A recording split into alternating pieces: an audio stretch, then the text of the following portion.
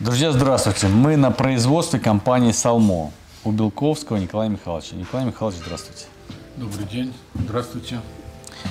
А компания «Салмо» занимается производством оборудования для рыбоводства Для рыбоводства, да. и для декоративных прудов, для рыбалок э, и так далее, платных. Сегодня интересный ролик. Мы покажем изделие 13-летней давности или сколько? 16-летней? 13 года. То есть 13 года. 11 12 лет. Три- 12 лет, уже почти 13 лет. Этот аппарат работал безостановочно. Ну, у нас, по крайней мере, на прудах мы используем часто причал, такой же модуль. Вот он, кстати, за Николаем Михайловичем стоит. Сейчас покажем крупным планом. Годами работает, не выключается. И вот у нас 13 лет. А Николай Михайлович, давайте я крупным планом покажу, а вы расскажете, что в итоге здесь заменили, а что остается. Да, Николай Михайлович, расскажите, это у нас... а, это поток, поток ай- э, аэратор серии поток, э, серия ТФ. Это одна из самых первых моделей. Она вот в 2011 году была передана в монастырь во Владимирской области для обслуживания монастырского пруда. И он сейчас приехал не столько для ремонта, сколько для профилактики. Мы поменяли винт, винт который получил повреждение, поменяли шланги. Корпус остался прежним, э, крепеж немножко. это вот, вот, Вот этот это. винт, да, он был Он смешивает воду с воздухом и дает поток. Водовоздушной а, смеси, водовоздушной смеси. с мелкими пузырьками. э, И воздух обогащает воду кислородом. обогащает воду кислородом. А где вот забирается воздух? подсасывается вот по этим трубкам. А, вот две трубки. Это мы видим только И фрагмент в этой части идет смешение. Да, здесь происходит разряжение в зоне. То есть здесь разработан винта. специальный угол, да, под вот Здесь э, инжекционная камера там стоит, в которой под- происходит э, разряжение, под- подсасывается воздух. И вот в зоне работы винта создается водовоздушная смесь. И, по сути дела, здесь как основной момент аэрации происходит. Потом эта смесь не поднимается вверх, как, допустим, на турботажных системах, она направляется под углом вниз или вперед. За счет этого время контакта воздуха с водой сильно увеличивается.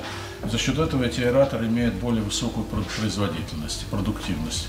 Ну и кроме того, эти аэраторы создают течение в водоеме, благодаря чему в водоеме нет застойных зон, нет участков с анаэробными условиями, нет гнилостного, нет гниения в определенных слоях, нет распределения кислорода, кислород равномерно везде, э, э, везде распределен равномерно, нет стратификации. От глубины содержания кислорода не должно зависеть сильно. Ну, Вот это вот наши аэраторы позволяют делать. Ну, видно, что у него вид, конечно, уже такой поп- попользованный, не очень хорошо он отмыт. Да, Николай Михайлович, скажите, что поменяли? Вот, я так понимаю, провод у нас заменен. Да, за заменили 13 лет. кабель, заменили вот эти трубки. Мотор остался без изменений. Мотор да? остался целый, он э, отслужил свои 13-12 лет. Э, Поменяли винт. Ну, старый винт тоже был работоспособный, просто на нем уже были механические повреждения, мы решили поменять. А так, по сути дела, небольшая Но профилактика. винт можно было оставить, да, еще? Ну, мы решили заменить, да, потому что раз уж менять, то... Ну вот за вами стоит а, причал. Да, аэратор, поток причал. Поток причал. Вот мы его часто покупаем. Вот смотрите, друзья. Это вот у нас он уже готов к отправке. И вот он может м, крепится кронштейн, и он может регулироваться по высоте установки.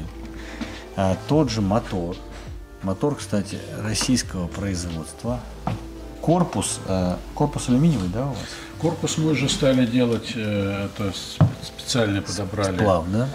Э, Вы имеете в виду вот этот материал? Нет, вот, вот этот корпус А, это алюминиевый или это, это, алюминиевый. да, мы э, это конструкцию. соответственно, долговечная Все конструкция. это долго, да, достаточно долговечно. Это все сварка у нас есть своя. Мы все это делаем сами. Вот эта часть, это у нас воз- воздухозабор стоит над водой, подается э, Воздух отсюда заходит. В Это эту часть смеси. Сюда вставлена небольшая вставочка, чтобы не было шумного забора А, воздуха. И он чем удобен, он регулируется по высоте. То есть мы можем его глубже поставить или выше. И чем удобно, крепится к металлическому основанию, например, настила. Очень удобно Он монтировать. универсальный, уни- крепление универсальное и к деревянным настилам, и к металлическим. Здесь регулируется и высота погружения, регулируется угол, мы можем его вот в этой плоскости регулировать. Регулируется угол наклона, то есть он может На наклоняться дно вниз подавать или смесь вверх. вверх, да. В горизонтально. зависимости от того, что нужно получить. И когда зимой, допустим, вы хотите какую-то определенную часть водоема освободить от льда, вы можете просто направлять э, поток вот этой водовоздушной смеси туда, куда вам надо. Поэтому вы можете формировать эту майну любой, любого размера, ну, насколько позволяет тепло, накопленное в водоеме. Вот за вами стоит еще один аэратор. Я смотрю уже другой мотор. Это мотор. Это просто корпус, а не это мотор Э, тот же? Нет, Или мы это уже другой мотор? мы- ну, у нас линейка довольно широкая, у нас и однофазные двигатели используются, и трехфазные, и разного диаметра двигатели мы применяем.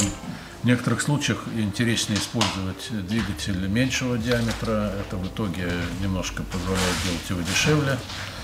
Э, По своим потребительским качествам он абсолютно такой же, как и остальные модели. То есть они имеют стандар- стандартные узлы, один и тот же принцип работы, но каждый имеет свои определенные преимущества. Скажем, вот для стационарной установки без поплавков мы используем причал.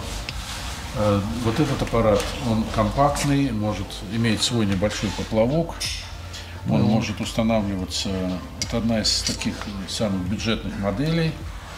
А, Он устанавливается на водоеме, обычно на водоемах не очень больших, но в то же время вот его стали использовать и в садковых хозяйствах, где нужно создать течение в садках. А, У него единственное, что нет режима фонтана. А, Для того, чтобы был фонтан, мы используем аэраторы другого типа. Вот я тоже смотрю алюминиевая конструкция, а вот эта часть, чтобы его ставить на растяжки, да? Да, ставить на растяжку. Вот если растяжки не очень удобно в декоративных прудах, то вот причал наш спасает. Он прям крепится к, э, к- к основе и не требует растяжек. Чего, кстати, сложно. На рынке я не видел производителей, кто делал бы вот наподобие вот такого, такой конструкции. У всех поплавки и требуют растяжки. Ну, теоретически можно сделать и растяжки, во-первых, чтобы они были не видны, потом э, э, ничто не мешает сделать якорная система крепления, но они требуют определенной прочности, потому что в момент пуска может быть большой рывок. Если сделать прочные э, якорные системы, то можно ставить и таким путем. Вот. Ну, э, еще один аэратор, который вот здесь есть, это вот э, поток каскад. Это компактный аэратор. Верхняя часть это поплавок. Сама часть аэрационная ниже, она под водой находится. Он интересен тем, что он создает кольцевое течение воды вокруг себя, поэтому его можно ставить э, в относительно небольших водоемах, он не размывает берега. Его используют часто, в, опять же, в садках, где в каждый садок можно опускать такое устройство. Воздух поступает вот отсюда. А как высоко он над водой? Где уровень воды у него? Уровень воды, когда он опускается в воду, то у него вот этот поплавок, он э, опускается над, над поверхностью воды только часть. Только По часть буквам, видна. да? Вот по этой Да, части. Вот И эта часть над водой. То есть над водой часть. видна все вот эта часть, все остальное под водой. И он, получается, по- поток отправляет вниз на дно. Поток, он, по- поток воды выходит вот отсюда в разные А, в стороны. сторону, понял, стороны. понял, понял. Он может, то есть, забирать донную воду, если мы Да, удлиним он- да, трубу, кстати, он вот донную... правильно заметили, это одна из его главных, одно из главных достоинств, что он позволяет забирать воду со дна, бедным кислородом. поднимать ее и распределять. Э, При необходимости к нему, к низу могут пристыковываться трубы для того, чтобы с любой глубины доставлять, доставать воду, подвергать ее аэрации. Вот одна из самых продаваемых моделей. Мы, в общем приступили к выпуску относительно недавно, меньше около одного года. Но они у нас очень неплохо пошли, и люди довольны этой конструкцией. Это вот стандартный аэратор А, это у нас даже не аэратор. Макет у нас Это еще макет. Да, это макет, да, ну, он там для других целей у нас используется для разработки. Мы сейчас разрабатываем систему очистки воды, вот он где используется. Ну, это, в общем, еще рано, это мы весной, если будет все готово, весной сможем записать, да? Нет, я думаю, Показать. что пока не надо, это еще разработки. Ну, вот э, аэратор поток универсал, вот он так и будет. Вон он стоит готовый, ну все. Самая ходовая модель, он может работать и в режиме фонтана, хорошо защищенный двигатель, э, надежное крепление, очень прочные поплавки, круглогодичный универсал, режим работы. Да. А вот это у нас вот поток универсал, да? Да, это вот поток универсал. Ну, также смотрю, это такой же мотор или это так только кажется? Он помощнее? на причале. э, Да, тут легко отличить, чем мощнее мотор, чем длиннее корпус. Ну, вот это самая такая это отработанная, мы уже много лет ее делаем, она очень себя хорошо показывает. Главное достоинство – способность работать и зимой, и летом. Он не боится морозов. Главное, чтобы он был включен. Ну и на концовку покажу еще раз герой нашего ролика. Это